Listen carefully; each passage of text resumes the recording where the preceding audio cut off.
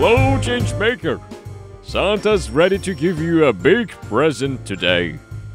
Here are a few challenges to learn your lessons from. The pessimist sees difficulty in every opportunity, but the optimist sees the opportunity in every difficulty. Which one are you going to choose?